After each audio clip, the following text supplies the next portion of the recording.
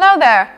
Want to know how to change the time format in the system clock on your Windows 7 based PC? Let me give you the steps for it. Just follow me. Click Start button and type in intl.cpl into the search box and then press Enter on your keyboard. Under Format tab, click the Additional Settings button. Click on the Time tab. Under Time Formats, click on the drop-down arrow next to Short Time and then change the time format from the drop-down list. Click on the drop-down arrow next to Long Time and then change the time format from the drop-down list. Click OK and then click OK again. You can check the time which you have just changed. See? How simple it was. Go ahead, have fun with your PC. At any point in time, if you face issues with your PC, just call iYogi. Good karma.